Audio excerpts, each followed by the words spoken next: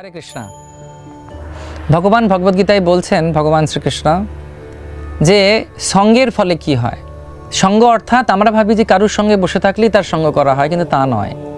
সঙ্গ অর্থাৎ অ্যাসোসিয়েশন আমরা বিভিন্নভাবে নিয়ে থাকি, মনের মাধ্যমেও নিয়ে থাকি। কীভাবে? না, একটি শ্লোকে ভগবান খুব সুন্দরভাবে জিনিসটাকে বোঝাচ্ছেন। তিনি বলছেন, ধায়ত বিষয়াং পুংসাত সঙ্গস্তেসু প্রজায়তে। সঙ্গত সঞ্জায়তে কামত কামত ক্রোধ বিজায়তে ক্রোধত ভবতি সম্মোহত সম্মোহ স্মৃতিভংসাত স্মৃতিভংসাত বুদ্ধিনাশো বুদ্ধিনাশাত প্রণশ্যতি আমি বুঝিয়ে দিচ্ছি। বলা হচ্ছে, ধায়ত বিষয়াং পুংসাত। একটি বিষয়ের প্রতি মন ধাবিত হয়। যখন আমরা দেখি, যখন আমরা খুব অল্প বয়সে থাকি যুবক অবস্থায় বা যুবতী অবস্থায় থাকি, কোনো একটি বিশেষ জিনিসের প্রতি আমাদের খুব লক্ষ্য যায়। এবং তখন আমরা ভাবি, যেহেতু আমাদের অভিজ্ঞতা অনেক কম, আমরা ভাবি এটা না পেলে আমার চলবে না। এবং তখন মনের মাধ্যমে তার সঙ্গ করতে থাকে। ধায়ত বিষয়াং পুংসাত সঙ্গস্তে সুপ্রজায়তে। এবং তখন সঙ্গ করতে করতে কি হয়? সঙ্গত সঞ্জায়তে কামা। কামা অর্থাৎ না আমার ইচ্ছা হয় সেই জিনিসটাকে ভোগ করা।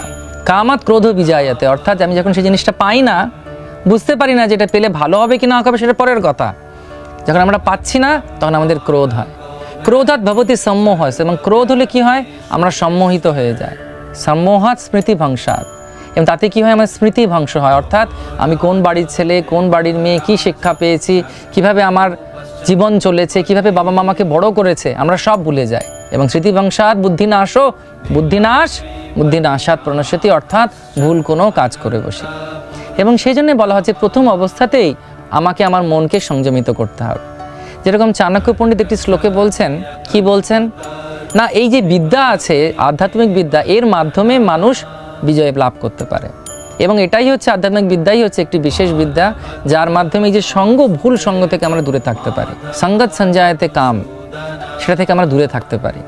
তো বলা হচ্ছে যে যখন কেউ যুবক অবস্থায় থাকে বা যুবতী অবস্থায় থাকে বা অল্প বয়স থাকে, তারা যখন একে অপরকে দেখে, তারা চামড়া দেখে ভালোবাসায় মধ্যে পড়ে। অর্থাৎ কাকে কীরকম দেখতে, কাকে কত সুন্দর দেখতে, এই দিকেই তারা মোহিত হয়ে যায়। তার বাবা মারা, যারা তাদের থেকে একটু বড় এবং প্রবীণ, তারা যখন সম্পর্কে যখন কেউ যায়, তাদের ছেলে তারা দেখে যে তাদের যোগ্যতা আছে কিনা একে অপরের সঙ্গে থাকার, অর্থাৎ নিজেদেরকে তারা ইংলিশ ভাষায় যে শব্দটি বলা হয় মেনটেন নিজেদেরকে প্রতিপালন করতে পারবে কিনা।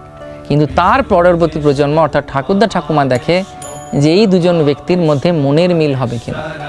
এবং সেই জন্যে বলা হয় যে যত আমরা আমাদের বুদ্ধিকে বাড়াবো আধ্যাত্মিকতার মাধ্যমে, ভক্তির মাধ্যমে, তত আমাদের মধ্যে সেই শক্তি হবে, ভুল এবং ঠিকের মধ্যে বিচার করা, মনের মাধ্যমে শুধু না চলা।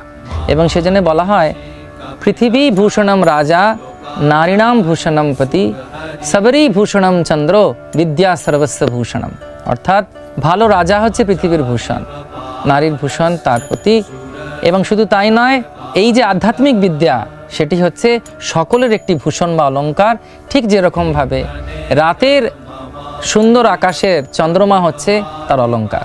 এবং সেই জন্যে আমরা অনেক জায়গা থেকে নিজেদেরকে রক্ষা করতে পারব। যদি আমরা বুঝতে পারব যে কীভাবে ভগবদ্গীতা এবং শ্রীমদ্ ভাগবতমের মাধ্যমে আমরা অল্প বয়স থেকে এর জ্ঞান নিয়ে তাদেরকে নিজেদের জীবনে পালন করে আমরা অনেক ভুল ভ্রান্তি থেকে বেরিয়ে আসতে পারব, ভুল কাজে যাব না, কোনো কিছুর প্রভাবের দ্বারা প্রভাবিত হব না এবং মনকে সঠিক রেখে আমরা পদ্মফুলের মতো সব থেকে উপরে উঠে থাকতে পারব। জলে থাকলেও জল আমার গায়ে লাগবে না। কামলা দাল্লা জাল্লা জীবন টালমালা বজহু হরিপদ নিথেরে। অর্থাৎ ভগবান শ্রীহরির ভজন করলে, অর্থাৎ আধ্যাত্মিক চর্চার মধ্যে থাকলে আমরা যে কোনো পরিস্থিতিই থাকি না কেন, আমাদের মন উৎফুল্ল থাকবে, আমরা ভালো থাকব। কারুর দ্বারা প্রভাবিত হব না, কারোর দ্বারা পরিচালিত হব না। আমরা একমাত্র পরিচালিত হব কীভাবে? আধ্যাত্মিক মঙ্গলময় ভগবানের কথার মাধ্যমে। হরে কৃষ্ণ।